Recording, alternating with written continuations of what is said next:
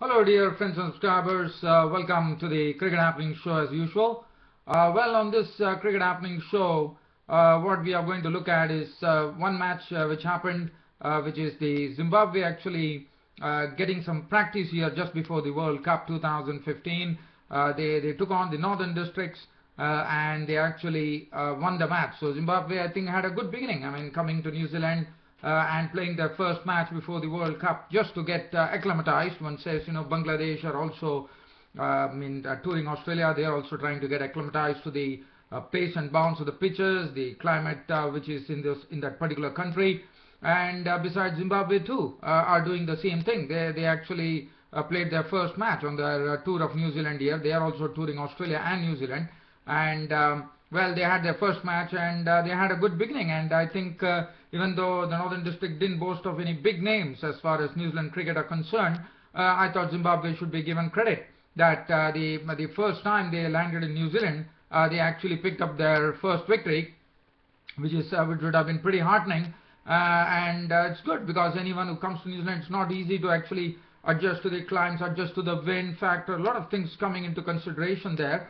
So I thought um, Zimbabwe really did a good turn for themselves there by starting off on the right note uh, when they actually won the match, even though the match would have been a match. Uh, if you look at it, the margin says it was a close match where uh, Zimbabwe actually won the match by 11 runs. So I will, I will we just have a sneak peek at that, uh, and then. Um, uh, I mean, not there's not much cricket to really cover, so probably this YouTube broadcast is going to be a very short one. Uh, probably I will be touching on some little cricket news, some cricket trivia, um, well, so so what I'm going to do is first I have a look at that uh, Northern Districts match versus Zimbabwe. As I said, Zimbabwe on their uh, tour of Australia and New Zealand just before the World Cup. Uh, this was a match which was played at the Harry Barker Reserve in Gisborne, and uh, Zimbabweans batted first. And well, they did well. I thought they had a good workout there. As I said, um, Northern Districts. well, they are a, a, county side in the sense they don't have boast of any big names. Well, I'm just trying to see uh, there were any big names. Well, uh, uh, one can't even really see any name which could probably relate to New Zealand cricket there. So, so it's a basically it's a, a young team and you know a new team probably.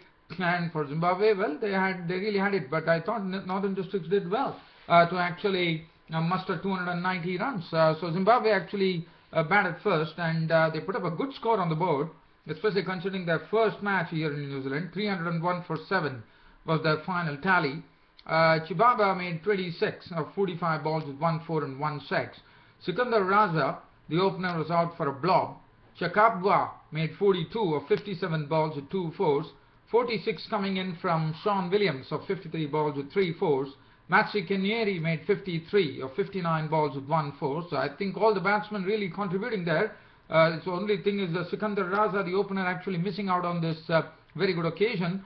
Uh, um, uh, Craig Ervine made 58 of 43 balls, 4 fours and 2 sixes.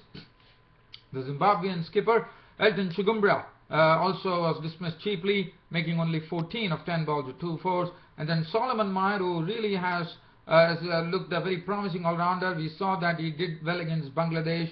Uh, and I feel in this World Cup, this is one person on him the eyes would be because he's playing as a genuine all-rounder and he has that ability to really hit the ball um, absolutely uh, high and wide and that's what he did here when he slammed an unbeaten 39 of 23 balls and there were no boundaries. He had three sixes in that knock.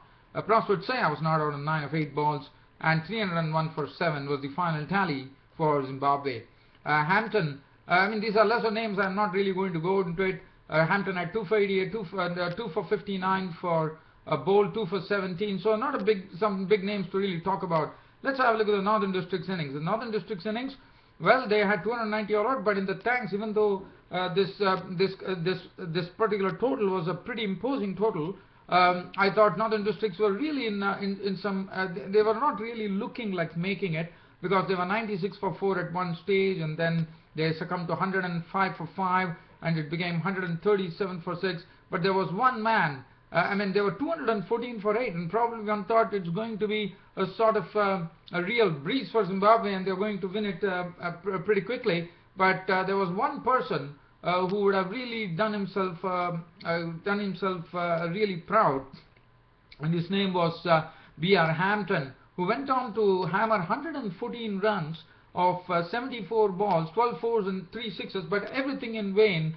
as uh, Northern District's uh, 11 uh, innings, um, you know, um, ended at uh, 290, but all thanks in the main to Hampton, who kept going, kept uh, kept going against Zimbabwe. The battle was on, and Hampton was solely taking it on the on the Zimbabweans. And what a knock he played. well, it was, as I said, it's a knock in vain, but nevertheless, one has to credit that. Hyde made 3, Talit, um, Talent made 31 of 39, 3 fours, 1 6. Hickey making 18 of 31 balls. Uh, Bocock uh, making 24 of as many balls with 4 fours. 14 from Bolt's of 27 balls. Copper making 17 of 31 balls with 1 4. Popley was out for 8. Yugaraja was out for 4. DB was not out on 35. He was the one who actually gave company to Hampton. But Hampton was uh, definitely, he had to take up the mantle of really scoring hard and in the process he had to actually sacrifice his wicket. He was gone for 114. Gibbs was not out for naught and finally Northern Districts ended at 290. Let's have a look at the Zimbabwean bowling card here, how they did. Now Chatara, normally a very economical bowler, did his job uh, pretty well there. 9 overs, 1 maiden, 3 for 37 for him. Uh, Mupariwa, 8.3 overs, 1 maiden, 249. Solomon Mire also um, 5 overs he bowled, uh, gave away 24 runs. Chigumbura was uh, more costly, 7 overs, 1 maiden, 261. 5 overs for 20 runs for Chamu Chibhabha with 2 wickets to his name. Prosper Utseya, as I said, uh, uh, had a new role to play because he was, uh, as you know, uh, he has been banned from actually bowling a particular delivery. And I, I have a feeling that is the off break they are talking about. So if they banned him, uh, but definitely, I, as I said, uh, we, we know that um, Prosper was actually practicing himself uh, for um, bowling with a bowling with a difference. Uh, normally, Prosper says uh, right arm off spinner, and because of the ICC calling on his action, he had to remodel his action. And not only that, he also gave it another twist by getting to become a, a, sort of a medium pace, a military medium pace. And on, at the next one was told that he was bowling some good cutters. Uh, well, uh, but today I thought he was the most costliest bowler. He, he was slammed for 66 runs uh, just with a, only a wicket to show to his name. Uh, Sean Williams bowling 4 overs for 26 and thus the match ended. But uh, I thought Zimbabwe deserves some credit. As I said, it's not easy to come to come directly to New Zealand and really get acclimatized. I thought on that score one has to really credit um, Zimbabwe for uh, getting their first win under the belt in the very first match uh, that they started on the tour of Australia and New Zealand. So that would give some lots of confidence and definitely we all know that New Zealand have a new coach by the name Dave Whatmore. Dave Whatmore has been a very, very successful coach. Uh, I mean, you, one would remember that uh, uh, Sri Lanka, when they won the 1996 World Cup, it was under the tutelage of Dave Whatmore. And Dave Whatmore also went on to coach Bangladesh, as you would know. And I feel Dave Whatmore is uh, a wonderful coach, has been a very successful coach. Uh, he has been able to transform teams uh, like Minnows into real beaters, world beaters. And Sri Lanka, I wouldn't say Minnows, but definitely I never thought that uh, Whatmore would do that. So I, I, have some great regard as far as the former uh, coach, uh, I mean the coach uh, Dave Whatmore is concerned, and I'm definitely I'm I'm going to say that Zimbabweans wouldn't be so easy to handle when Dave Whatmore is the coach because Dave Whatmore is the coach uh, brings a lot to the table, uh, and I'm sure if Dave Whatmore um, is the one who is going to really tutor them, I'm sure Zimbabweans would put their best foot forward, and we might see uh, I wouldn't be surprised even if I see a few upsets in the World Cup because Dave Whatmore uh, is, uh, I think he, he has a lot of substance as far as his coaching is concerned and um, I have a, I have a, a very, uh, very strong feeling that Zimbabwe will, uh, I mean, one can't take them lightly. That's what I, I'm coming to. I'm not saying that they're going to upset the apple carts, uh, which they have done in the World Cup um, when they upset Australia um, in, in one match, as you would all remember. And so that is not something that might happen, uh, but that was in the, I, I do remember that was in the 1983 World Cup. So one probably is expecting um, uh, Zimbabwe to give a sort of a tough fight uh, to the opposition in this World Cup, especially considering that Dave Whatmore uh, is the new coach of the Zimbabwean cricket team. Well, from here, I'm going to look at some small, very, very little cricket news, and this cricket news is coming in from the West Indies. As you know, West Indies have their Caribbean Premier League. They have lots of imports. Uh, and um, Shahid Afridi is the one who has been, been topping there because uh, he has been graded the number one as uh, they, they have roped in a lot of players like all-rounder Shahid Afridi, Jack Kallis of South Africa. As you remember, Jack Kallis was the uh, man of the series, the player of the series in the Big Bash League in Australia, and he is there. And they have uh, Sri Lankan batsman Mahela Jayawardene, uh, and they have Ross Taylor of New Zealand and fast bowler Lasith Malinga from Sri Lanka. So these are the players who have been roped in. Uh, and as you know, the Caribbean Premier League 2015 uh, is a 20 over bash, uh, like every uh, country plays its own, like India has its Indian Premier League, Australia has its uh, Big Bash League, as we all know. So similarly, Bangladesh has a BPL, the Bangladesh Premier League, and uh, Caribbean, as you know, CPL, we call it, the Caribbean Premier League. And um, these are the players who have been selected. Kallis will be playing for Trinidad and Tobago Red Steel. Mahela Jayawardene would be playing for Jamaica Tallawahs. Uh, Ross Taylor would be representing St. Lucia Zouks. Uh, Lasith Malinga would be uh, representing Guyana Amazon Warriors. But all-rounder Shahid Afridi, uh, a very, very big catch for this particular team, St. Kitts and Nevis, will be the team you would be representing. So that is as far as that news is concerned. James Franklin, as you would know, the New Zealand bowler who has not, I mean, nowadays one does not see him in the New Zealand cricket team. I'm told that he has signed up a uh, county contract with Middlesex in the English County Cricket League. Uh, that is one news that I wanted to cover. Other than that, some cricket news. as you know, the Pakistani Amir Khan, who was his ban has been reduced, and he has been he has been given the go-ahead by the court to go ahead and play Grade 2 cricket. So the Pakistan Cricket Board represented his case, uh, and the court decided to go with him. Now, other than that, uh, the cricket, uh, well, the other day you would remember that uh, I broached the topic uh, about uh, the bat is mightier than the ball in limited overs matches and T20s. and on the same topic, even though I didn't get a very good response from you, dear friends and subscribers, I do see that Brett Lee of Australia has really been has differed from what I said.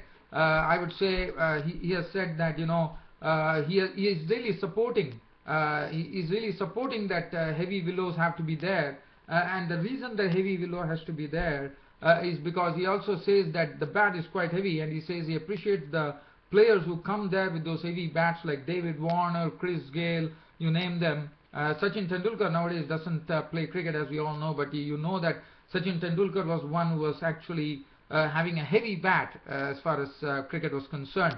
Now, so Brett Lee has said that um, uh, it's a good move to actually uh, you know uh, extend the boundary line so that you know that is something he agrees with but he says that heavy willows are there to stay. He says heavy willows are something which has to be there. So well he has a different thing and uh, you know he's a very experienced person as far as international cricket is concerned. Uh, so I really really respect what Brett Lee says uh, you know that but he says that the boundary has to be moved. So he definitely has um, he, is all for uh, the heavy willow as far as Brett Lee. And Brett Lee is also, uh, I'm told that he's also going to help Ireland uh, in their World Cup preparations. Uh, uh, and uh, and la last but not the least, the last news that I would like to cover comes from India. One might not know much about this particular player whom I'm talking about. he played a series in Australia, as I would remember. I do remember watching him on television. his name is Akash Chopra. Uh, he was uh, against Australia. I do remember uh, he didn't play a lot of matches, probably two to three matches. in one match, he I, I, thought he made some 50s, I suppose. Uh, Virendra Sehwag was his opening partner. Akash Chopra as announced, and Akash Chopra writes a column in in some he it has some cricket blogging and it's uh, pretty interesting to read Akash uh, Chopra's uh, cricket blogs there. and he has this, and the, the last news that I would like to uh, with, with, which I would like to end up my cricket happening show is that Akash Chopra, the opener, uh, has uh, retired from all cricket. Uh, that's the news we have. Uh, Akash Chopra has announced his retirement finally. and well, he's doing well. He's a good journalist. I mean, he's doing well as far as cricket writing is concerned. And he, did, he didn't play a few matches. I do remember he playing a, a test match. probably we can count on the fingers as to how many um, uh, you know, how many test matches uh, Akash Chopra played. I mean, I can just get into it and try to share those uh, cricket news with you as far as Akash Chopra is concerned. I, I, I, well, uh, I can say that he played uh, 10 test matches um, uh, for India. Uh, uh, 10 test matches is what he played. And as I said, uh, he played against Australia when he partnered uh, Virendra Sehwag. And after that, uh, one does, did not see Akash Chopra in the Indian team at all. Uh, but uh, he was, uh, so he has decided uh, to announce his, uh, he has his retirement. So with that, uh, dear fans and subscribers, I am uh, definitely ending my cricket show for today. Uh, but uh, keep an eye on the Cricket Happening show. Uh, once again, you'll all be seeing me uh, back tomorrow, that is on a Saturday, on my next Cricket Happening show. Until then, uh, this is your host Ram bidding goodbye on this